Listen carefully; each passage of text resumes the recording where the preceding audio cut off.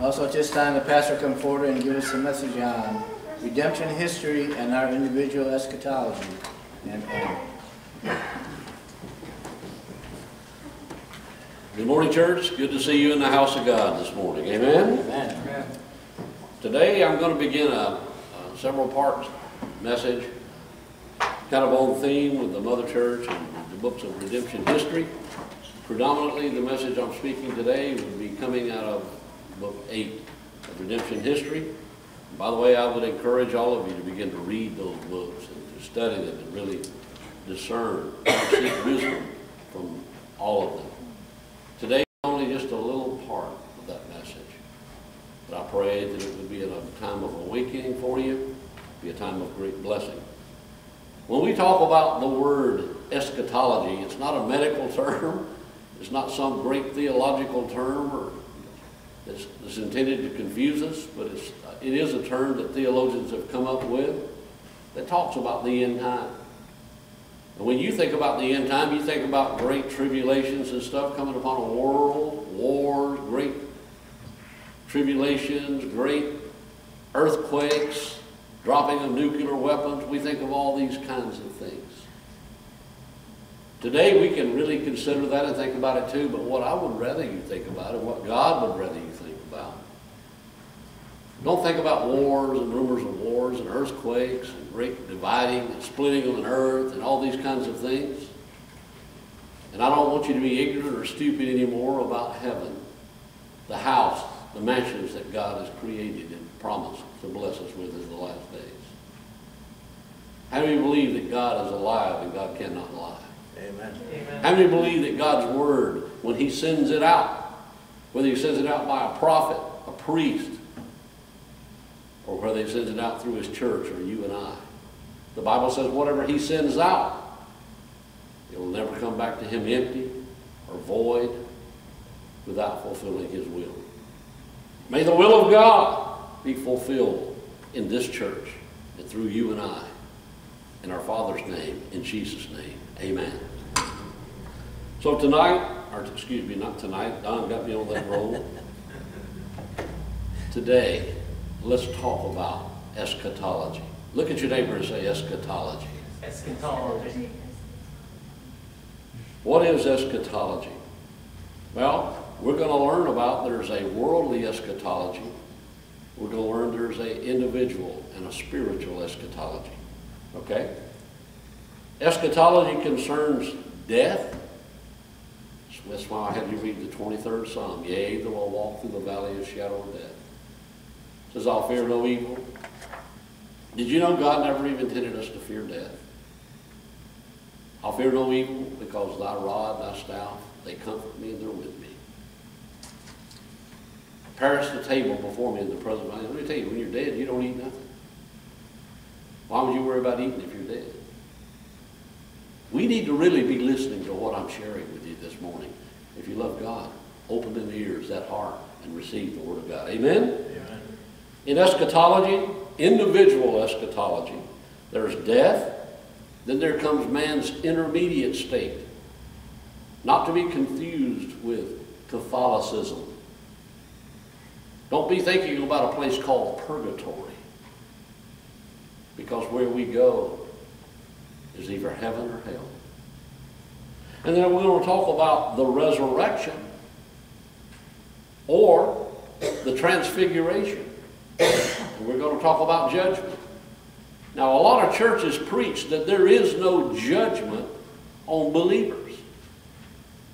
Let me tell you something. That is a lie right out of hell. The Bible says we are judged. Some are judged already because they reject the Son, Jesus Christ.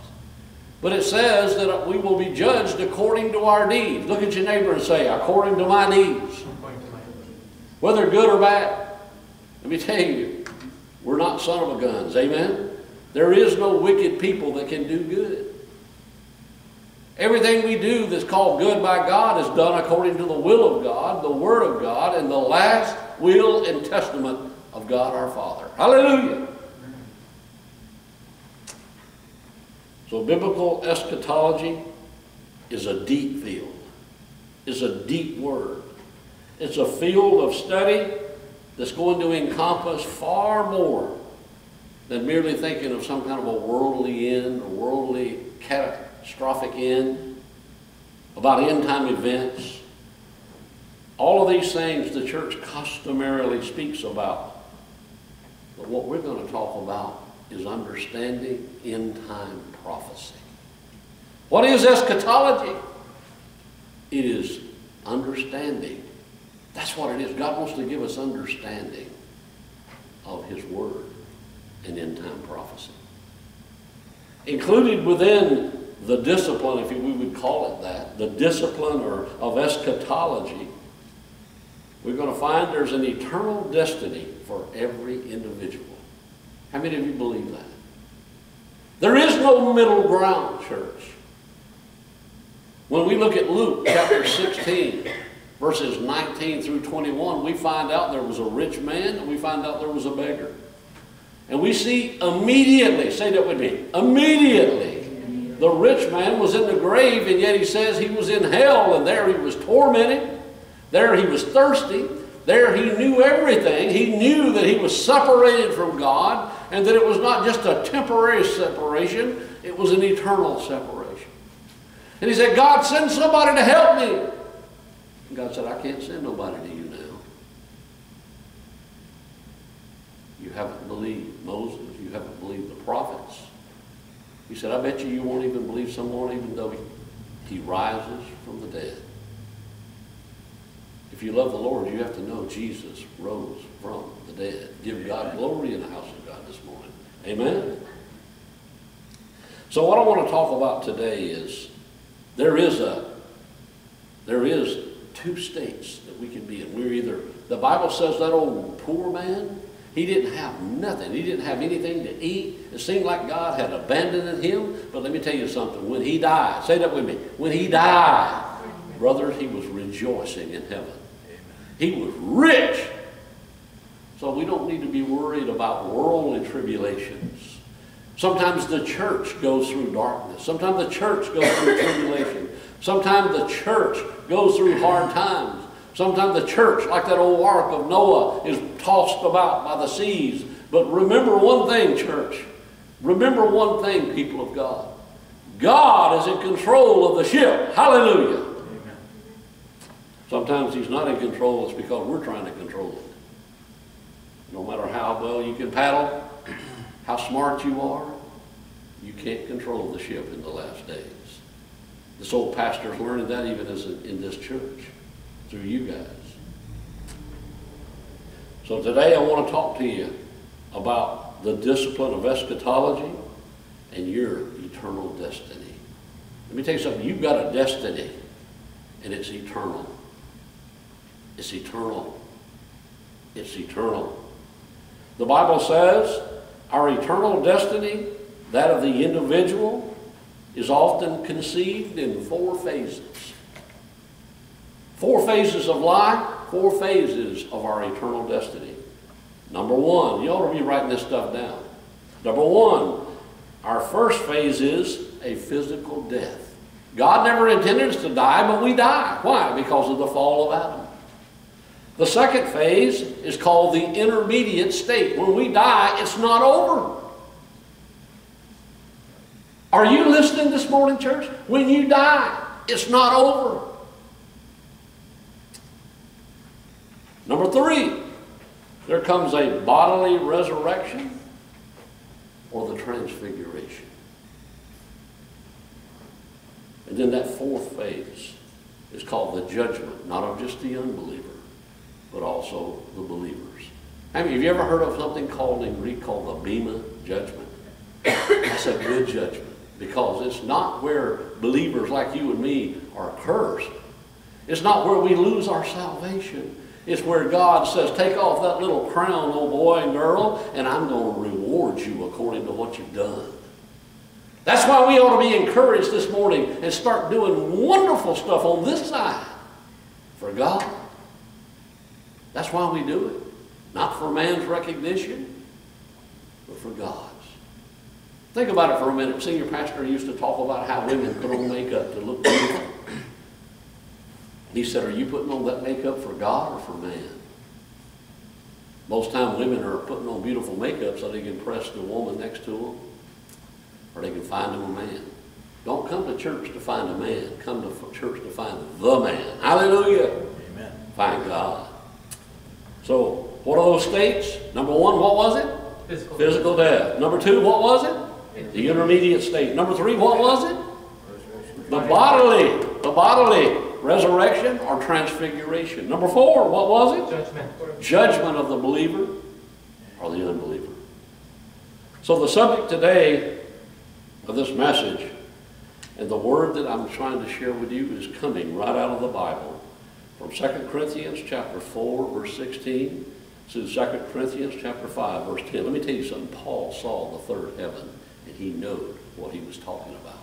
My father knows what he's talking about when he wrote the Bible and when he inspired the Bible, even when he inspired the books of redemption history. You better believe that. So let me ask you a question. You say, Pastor, why do I need to know about all this eschatology? That sounds like some confounding word. There's nothing confounding about it when you read redemption history because it begins to open it up. Hallelujah. Eschatology is four points I want you to remember there. Number one, how does our awareness of what the Bible and our Father says about eschatology, how does it affect the way we live, the way we share God's Word, and the way we worship? Eschatology, if we under it, it ought to affect something. It ought to affect the way Covenant of the Torch people worship in the house of God. Amen. Look at your neighbor and say, it ought to affect something. It ought to affect me. Number two, why should eschatology affect the way we worship? Eschatology, if you understand it. How many believe God wants us to understand eschatology? How many believe that God wanted Israel to believe the prophets? Especially the true prophets. How many believe you need to understand prophecy? It's all about, prophecy is all about eschatology. Prophecy tells us there's much more in the law, much more in the New Testament, much more in the revelation that you and I need to understand. And when you understand it, it will change the way this little church worships God. Hallelujah! We all talk about we're going to go to heaven. We all think we're going to have these mansions in heaven. We all think they're going to be golden mansions in heaven. I heard a minister the other day on the internet. He was lying, I think. I'm not sure. I won't judge him. I'll let God judge him. He talked about how his, one of his pastors under him saw heaven. Witnessed heaven, and in life he had an ugly wife. He said, but when he got to heaven, she was beautiful. He didn't recognize her. He wanted to stay there. She was so beautiful. He said, no. She, his wife told him, no, you got to go back to earth. Your life's not over. So he left heaven. He always wanted a beautiful wife, and he had to leave her there. She was with God. How many of you want to be beautiful in these last days? Don't put on makeup. Put on the Word of God. Hallelujah. Number three. What is the relationship between us, between God, between eschatology and the Word? What is the relationship between worship and the mission this church has? See, the church has a mission. But that means individually, each and every one of us, we have a mission. What do you do? Mission Missionika? Do you believe you've got a mission? We have a mission. Debunjet. Number four.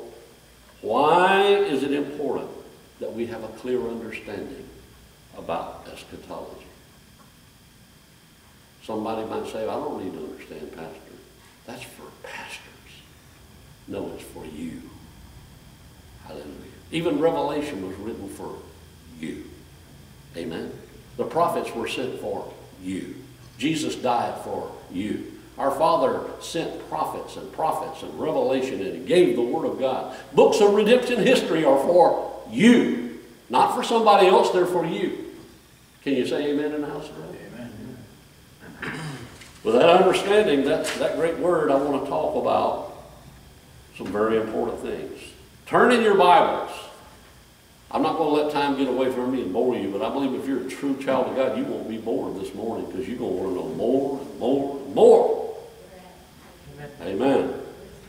Turn in your Bibles to Job chapter 38, verses 17 through 20. Job 38, verses 17 through 20.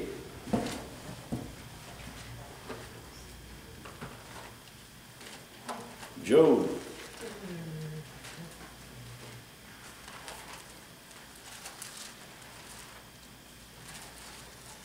What verse did I say? Seventeen to twenty. 38, 17 through 20. Now, this is going to get deep on you. Don't just read about this as some Old Testament boring thing. You better get blessed and you better have them ears open right now. Job chapter 38, verses 17 through 20. How many of you are willing to read the Word of God with me this morning? Amen. Let's read it. Let's read from verse 16. Shemukyo Sobatol says, Have you entered into the springs of the sea? Or have you walked in the recesses of the deep? Now, we have to know what the sea and the deep is here. Verse 17. Have the gates of death been revealed to you? Let me tell you something. Death is a gate. And I'll say that again. Even death is a gate. And there are several kinds of death. We need to understand which one is the right gate. Hallelujah. There's a wrong gate, there's a right gate. There's a narrow gate, there's a broad gate. We need to enter the right gate. I pray somebody's going to get blessed by this this morning. Amen. Let's read 17 again. Gee, have the gates of death been revealed to you? Or have you seen the gates of deep darkness? See, death can also be what? Deep darkness. It can also be great light. Won't you? I'll add that later. Verse 18 says, Have you understood the expanse of the earth? Tell me if you know all this. Verse 19 begin. Where is the way to the dwelling of light? And darkness, where is its place? Verse 20, that you may take it to its territory, and that you may discern the paths to its home. I don't know about you, but my home is not death. My home is life and in heaven. Hallelujah. Amen. This is deep. You better chew on this one for a while. This is better than sirloin steak. Receive the word of God. Be blessed. Big number one. What is physical death? As I said, death is also a gate and a way. Now you've got to really be listening to me or you're going to get confused. Little number one, death in the Bible, even the word for death, is used to describe three different experiences and three paths. Death is describes, it describes three gates, three ways, three paths. Number one, little number one, there is a spiritual death. What is spiritual death? What is spiritual death? That means you just stop coming to church or something? Now you think that's spiritual death? Now you can be in church and be dead. Come on, somebody say amen this morning. I ain't being negative, I'm telling you the truth. Spiritual death is the separation and the alienation of our individual soul from God. The way God th- wants things is, is for us to be like Adam in the Garden of Eden. The way God wants things to be done on this earth, the way God wants us to dwell, the way God wants us to live, is to live in His image and likeness. Genesis 1 26 and 27. That's the way heaven is. That's the way paradise ought to be. Paul saw that, so Paul would write these things.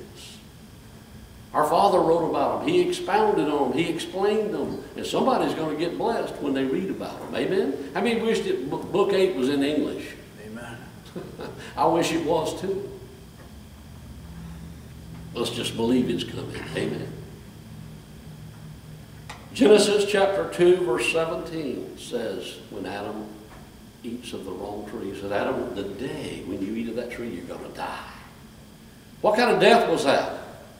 He didn't die that day, but he did die that day. What kind of a death? He took the wrong gate. Say that with me. He took the wrong gate, the wrong path. we need to go the path to the tree of life.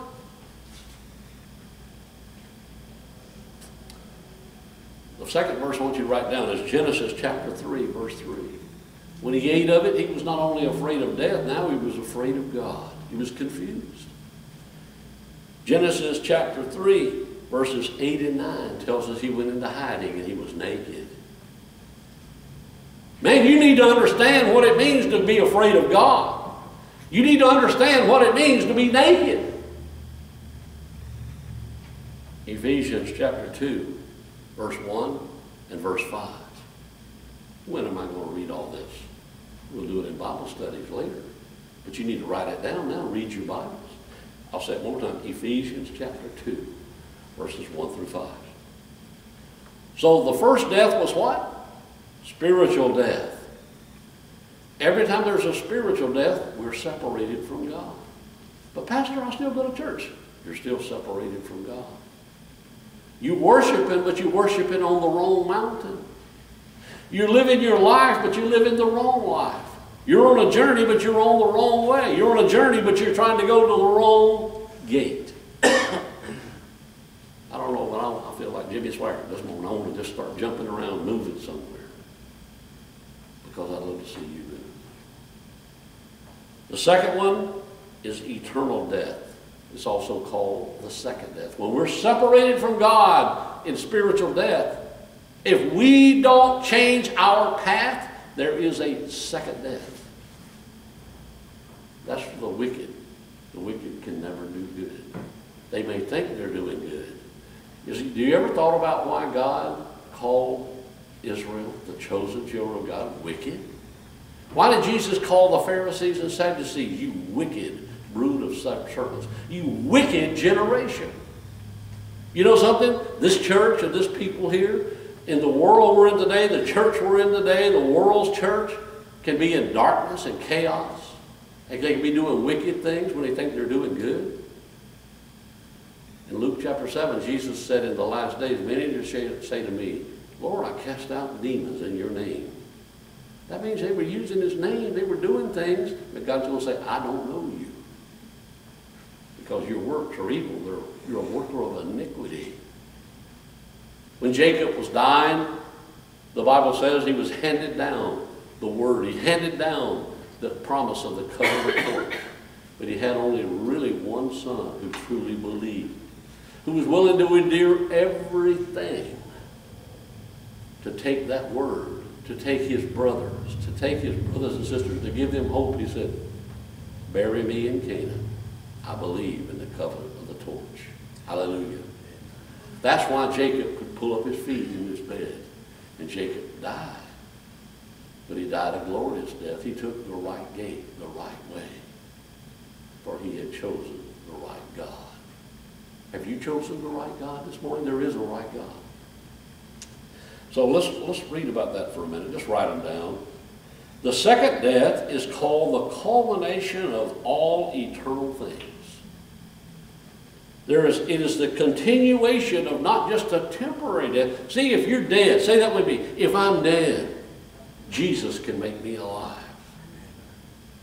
If I'm dead, God can fill me with His Word and His Holy Spirit, and He can make me alive. Revelations chapter 2, verse 11 is not a lie. Revelations chapter 20, verse 6 is not a lie. Verse 14 is not a lie. Revelations 14, excuse me, Revelations 21, verse 8, they all talk about this second death. Listen, church, God does not want us to have any part in the second death. You might die in the flesh, but God doesn't want you to die the second death. Because you will be like that old rich man. Let me ask you a question, church.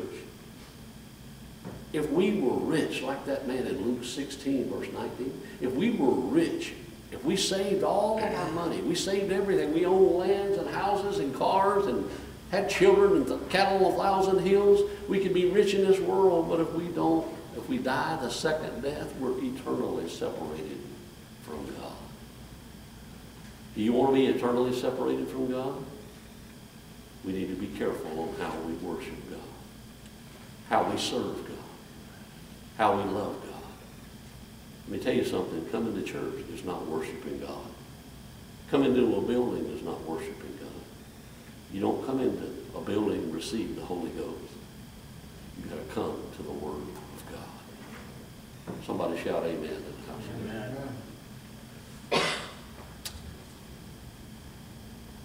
Third, the third death I want to talk about is a physical death, but it's only a temporary separation from your church, from your loved ones, from your family.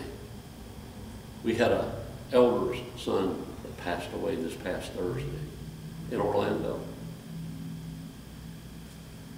He passed away, but he served the Lord with all of his heart, his mind, and soul. He even took the senior pastor's writings and he, he took a song and changed it. The day he died, they had practiced that song. That afternoon, listen, church, you better listen to me. Please. That afternoon, as close as that family was to God, for just a moment, the elder, this young man who would die that day, who loved God with all of his heart, they decided it was time the children had to go back to school. And they went out to the sea. They was going to have fun on the beach for just an afternoon. He had been to church that morning. But that day, the riptide, though he was only in shallow water, grabbed him. And Brother Pastor Beatty told me about what it's like to be caught in a riptide. Have you ever been caught in a riptide? It snatched him out and we were all taught, and I'm sure he was a, probably a pretty good swimmer. You don't swim against the current, you swim with the current or parallel to the beach until you get out of the riptide. Pastor Beatty himself said, Pastor John, that happened to me one time, I didn't know what was up. I didn't know what was down. I didn't know what was right. I didn't know what was left. I was being tumbled and drug out to sea. Let me tell you something. This world has riptides in it too. And even you may think, well, I'm going to go to the beach this afternoon. I believe his was for good. But if you're not careful, your death, the devil can mean for evil. You may just say for a moment, I'm going to go to the beach. You know, there's a lot of people that went to the beach today instead of coming to the house of God. This deacon never met. He never missed a worship service. He never forsook the house of God. But now he's physically dead. But you know something? I'm going to bring some good news to you here. His death did not separate him from God. His death brought him closer to God. You need to get right with God this morning, church. People by VOD, you need to get right with God. We all, this pastor, we all need to get right with God. There's a lot of getting we need to do. We put everything before God.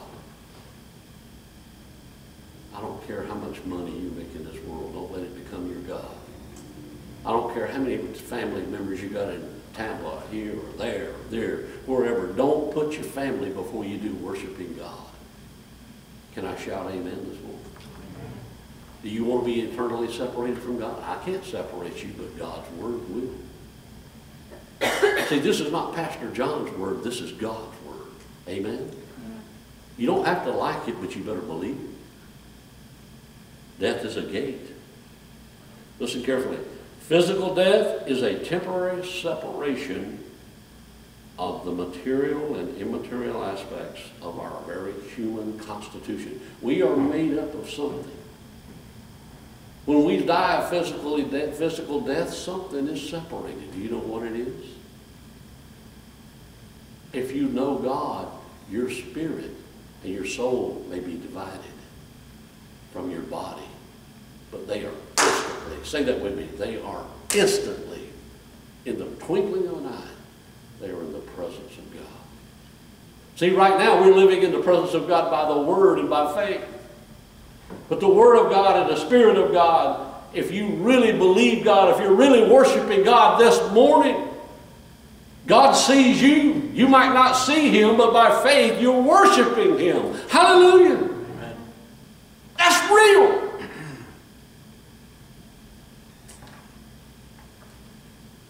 Physical death is only a temporary separation of our human constitution.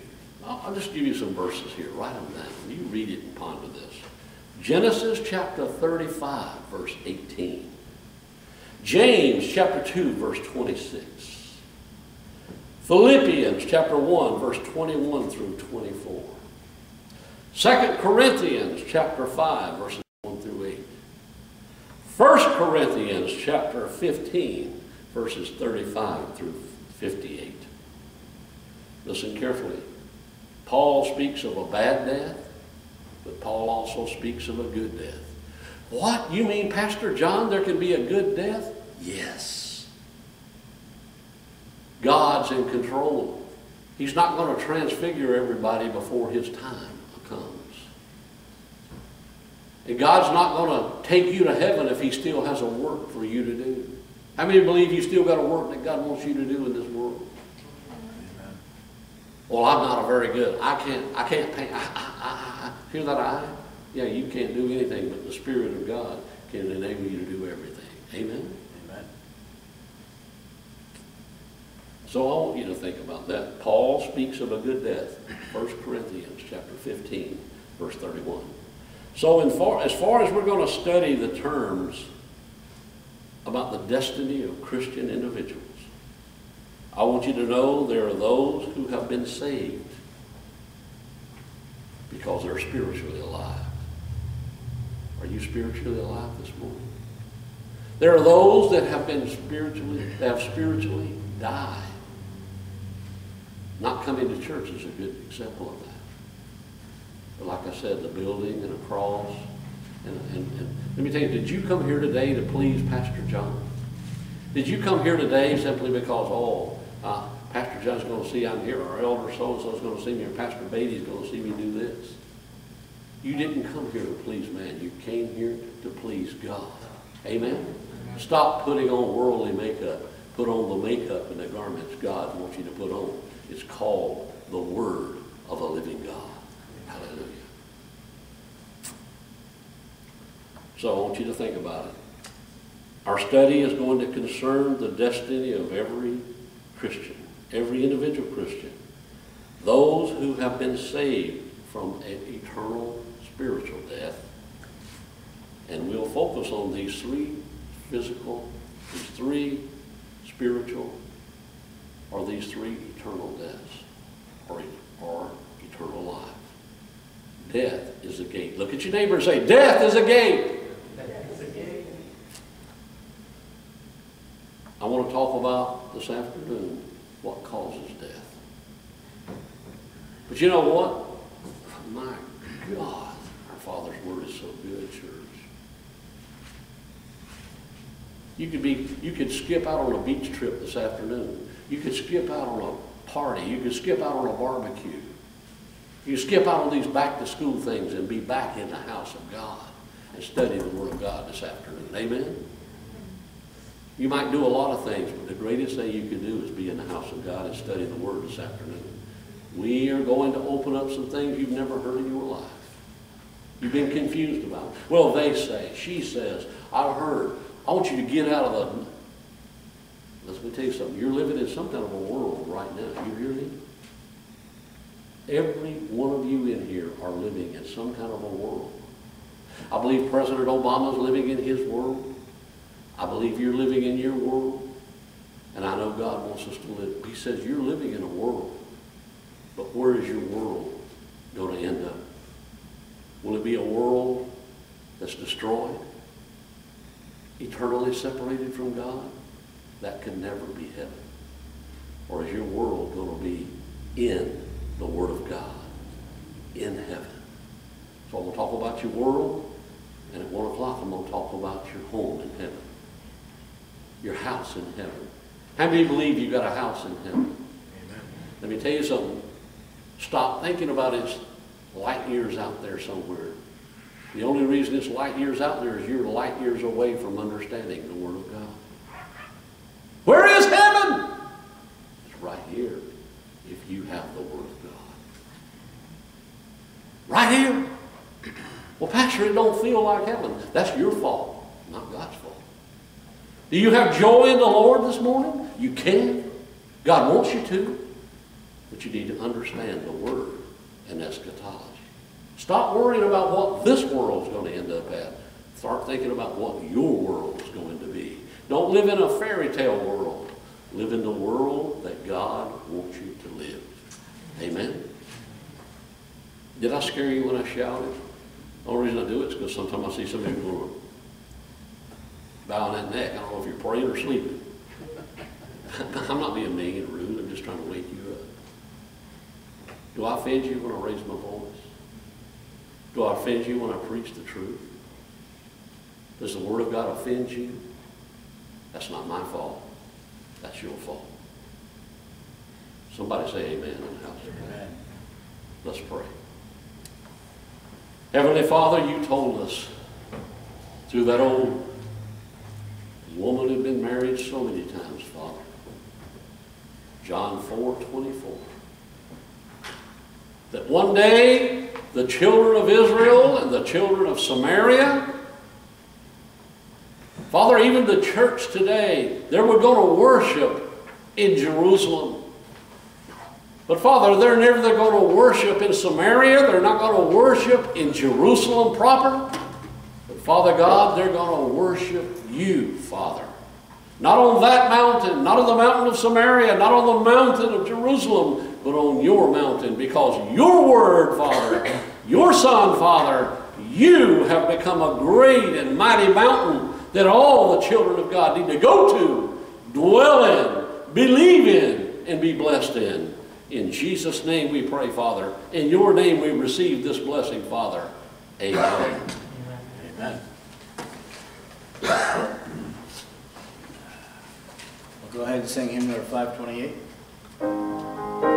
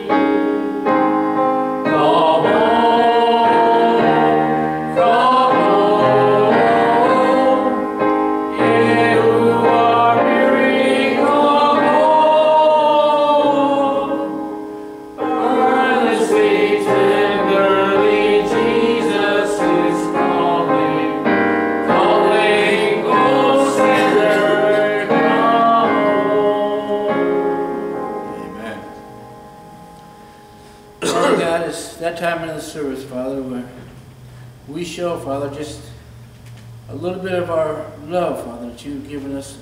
Father, you bless us with, Father. And Father, this past week we asked, give you thanks for blessing the healings, Father, of two of our members, Father. That they will come back in full recovery, Father, through your Amen. word, Father. And Father, as we prepare our hearts to give this morning, Father, let us remember all this comes from your hand, Father. And Father, we just want to give back just a small portion to you, Father, as you have told us. And Father, we just love this precious word, Father, that you have given us, Father. Father, we come here today, Father, to lift you up and to praise you, Father, and to glorify you, Father. And Father, for all this, we just say, thank you for this precious word, Father. We love you. In your precious name we pray. In Jesus' name, amen. Amen. Want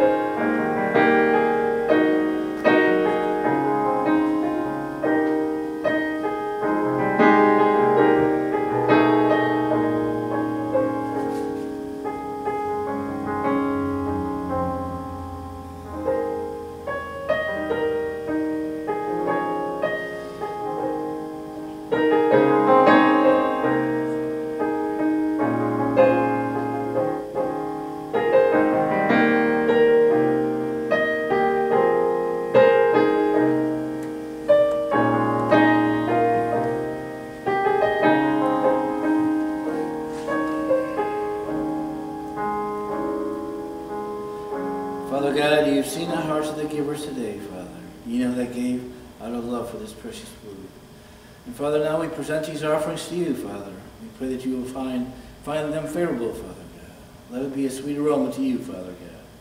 And Father, as we go forward in this church, Father, we ask that you will guide us and direct us, Father, in your word and the direction you would have us go, Father. For everything we do, Father, is to glorify you, Father, not us. And Father, we just lift you up and glorify you again today, Father, all that you've given us in this church, Father. In your precious name we pray. In Jesus' name, amen.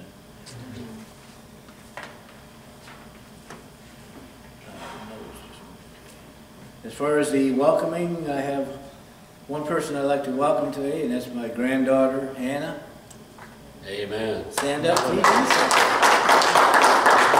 Anybody visiting from Kansas? Um, Announcements? Okay, I would like our, fo- our church to focus on the purchase and distribution of the senior pastor's redemptive history books. Please do your part to help to share these books with your friends, neighbors, and loved ones.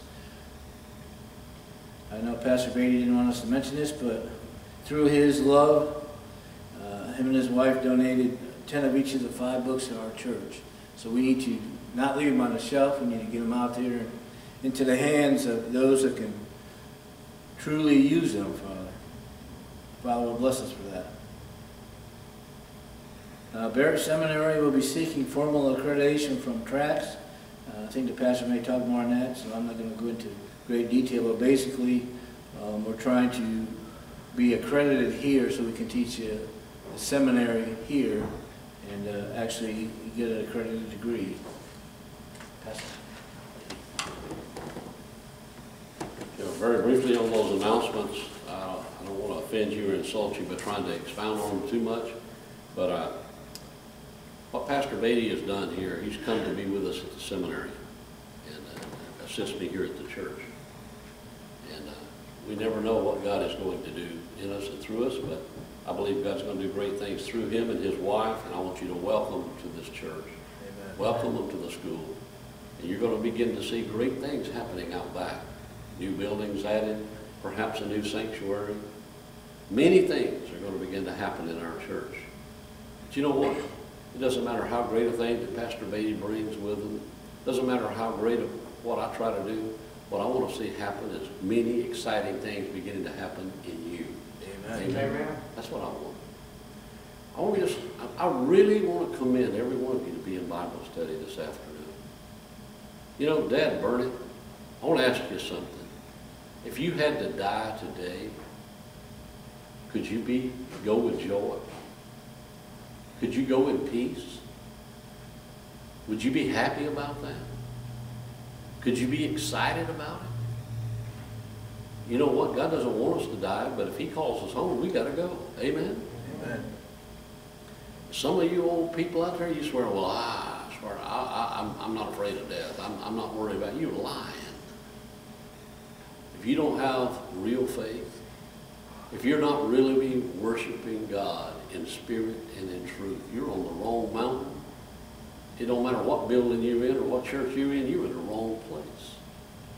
You need to change mountains, change churches, change word, change your heart. Because if you change all those things, God's going to change you. Amen? You better be listening to me. Don't be afraid of death. You don't have to be afraid of death.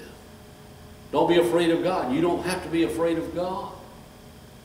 You don't have to be afraid of judgment. That's what I'm trying to pastor and lead this church to. You'll have comfort, even if you had to go. When Father calls you, you've got to go.